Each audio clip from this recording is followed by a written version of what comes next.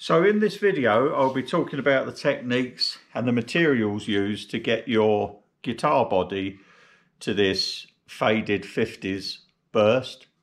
Um, I was going for the Peter Green, Paul Kossoff kind of uh, Les Paul look. And um, yeah, I'll be talking about the spraying techniques and the dyes that I mixed, the exact dyes that I use, etc. Um, to get this nice nice tone. Um, but if at any stage you think it's overwhelming, then um, I'll be more than happy to do it for you. So if you go to www.voodoocreek.com, that's my company, you'll be able to see my products on there with different colors.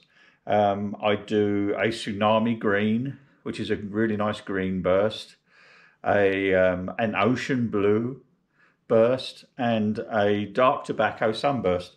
And it's possible I could do those colours as well. So uh, yeah, get yourself down there to voodoocreek.com and uh, email me email me through the contact on there, and uh, maybe we can uh, talk.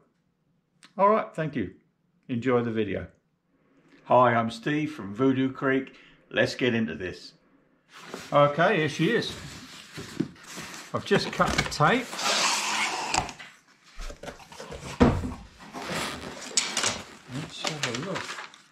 In step. Oh wow. Well that's really nice. Oh there's an instruction booklet. That's great. Oh it's beautiful. That's going to be lovely. Oh wow! First thing I notice is the uh, the thickness of the maple cap, because that's the secret of the Les Paul tone. The uh, the maple cap giving it the bite over the warm the warm mahogany. That's really nice. That's only like three. Well, it's four pieces of mahogany, which just seems about right. Top looks beautiful.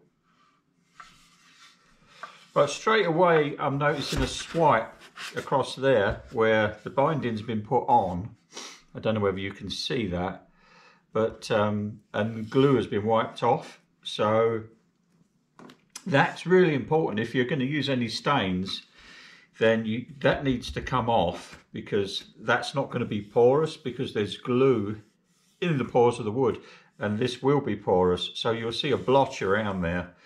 Um, there's two ways of doing that, sanding or acetone. So it's just a really thin veneer on top of the maple. So you've got to be really careful because if you soak it with acetone, it could loosen the glue that's holding this veneer down. And obviously if you sand it, then you could go through because it's like a millimeter. So um, I'm going to decide what I'm going to do with that next. So um, just a bit of information for you. Um, I did try putting the dye directly to the material um, because I really thought the acetone and the sanding had got rid of the um, excess glue that was in the pores. Um, but it didn't and um, unfortunately when I started spraying I started to see the soak line where the, the transition between where it was soaking in and where it wasn't. So I had to stop cleaning all off and um, very light sanding and uh, start again.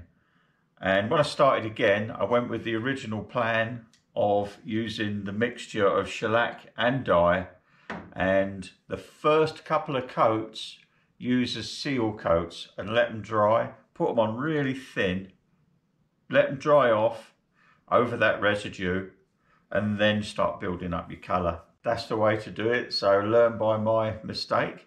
Uh, luckily, I managed to rectify it pretty quickly and, uh, and all is well.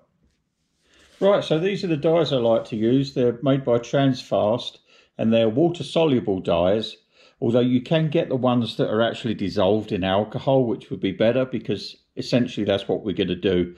We're going to dissolve these in a little bit of water and then mix them in with alcohol and then mix that alcohol into our shellac as a tint. And we're using de-waxed shellac, which is this kind of stuff because it makes a good sealer and you anything will adhere to de-waxed shellac. So if you're going to put nitrocellulose on afterwards, there's no problem. Um, but if there's wax in the natural shellac, then it won't adhere. Um, so I like a ratio of um, four to one, with the one being the early American maple, which is quite a dark browny reddy colour, and this uh, four parts of this honey maple. So you can see that.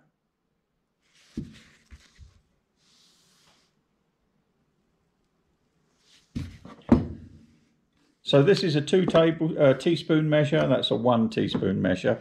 So now I'm going to put them together.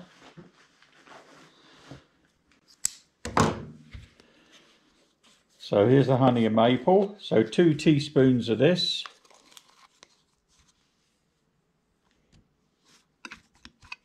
A bit wider.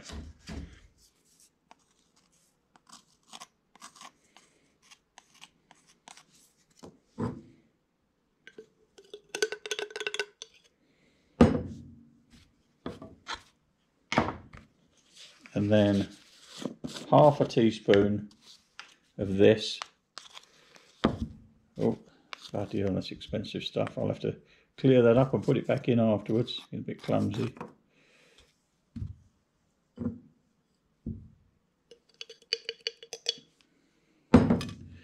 There you go.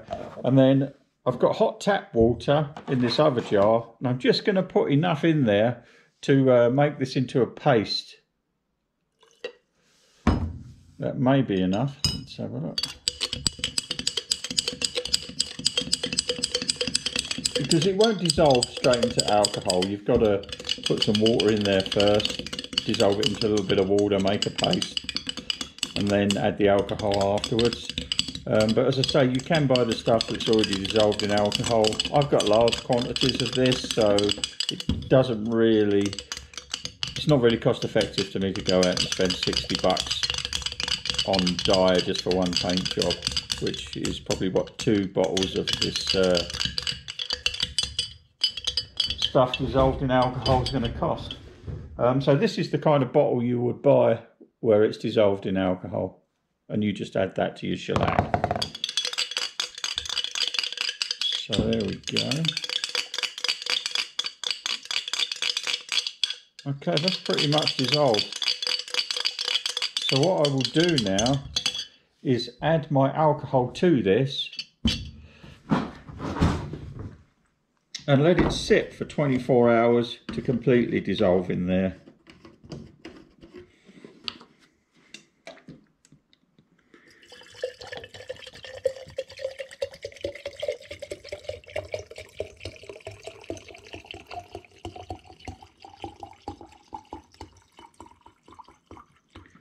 There you go. And that will be used to thin my shellac out as well as I add it so that it will be good for spraying.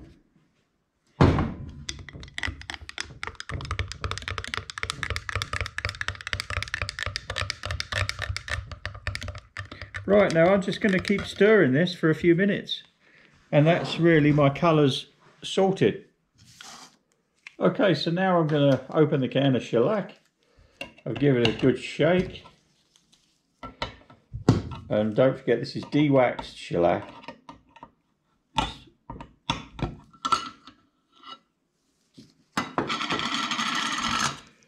give it a bit more of a stir in there.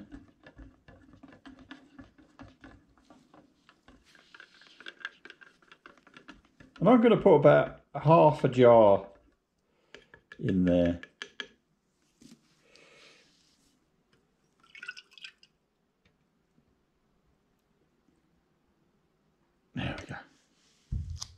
Got more on the tabletop than anything else. Kind of knew that was going to happen. So now I'm going to add my dye until this is thin enough to spray and the colour looks good.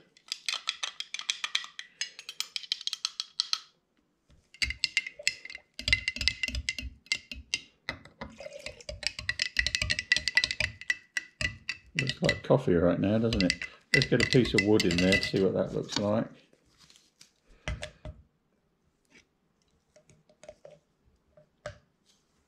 Yeah, a little bit more than that, I think.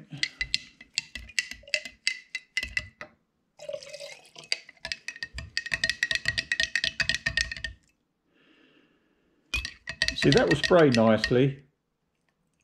It's got a nice run to it.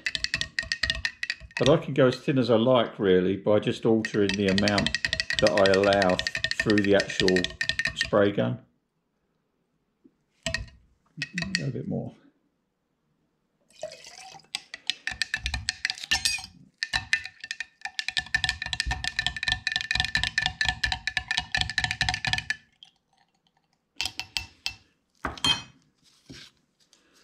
Right, let's see what that looks like. So that's totally immersed. You can see it's it's quite a strong amber colour, but I'll be spraying really fine passes, so um, it's not going to look this dark on my first pass, that's for sure. All right, well, that's that for the next step. We'll uh, put another video out.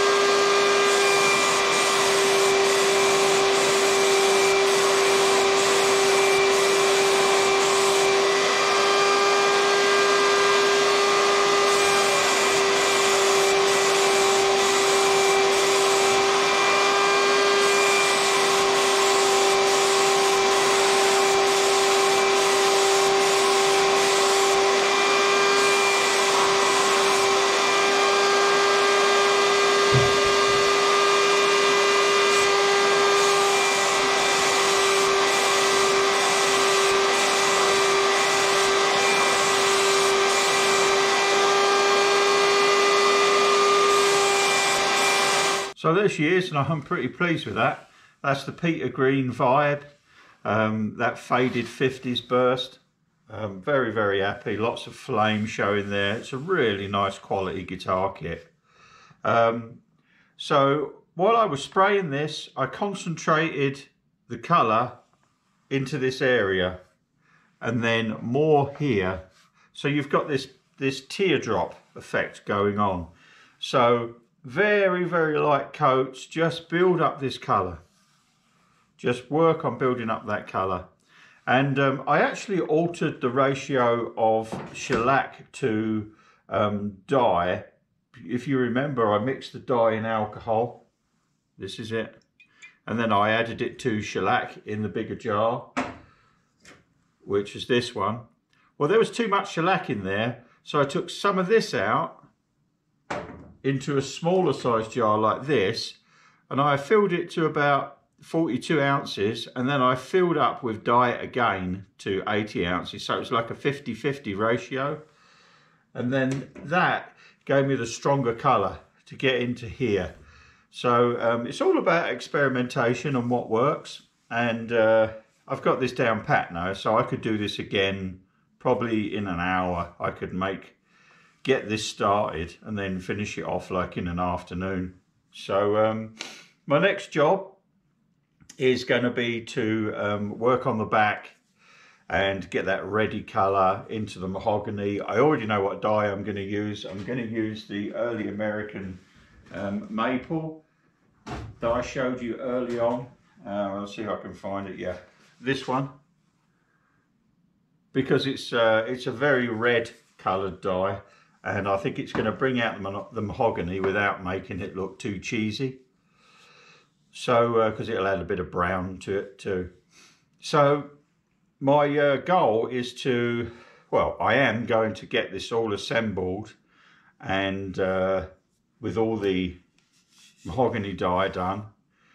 And when it's all clamped together and glued, then I'm just going to key everything up and do a coat of nitrocellulose. Um, shellac will take nitrocellulose perfectly. All you've got to do is key it. That's the beauty of shellac. If you buy de-waxed shellac, like in the can, it's always de-waxed. Um, it will work as a perfect base coat or primer or sealer for pretty much any surface or finish that you want to put on it. Okay, well, I'll uh, keep you updated. Well, I hope you enjoyed that short video. I know I've had a lot of fun with that technique over the years. It's great to apply it to your jams. And uh, if you like these guitar stands, get yourself down to www.voodoocreek.com. I've got some offers on at the moment. They're handmade by me here in Colorado out of the best materials. They're built to last a lifetime with traditional joinery. And uh, yeah, we've got some offers on at the moment. So check them out and uh, hit the like button and subscribe. Thanks very much. See you on the next one.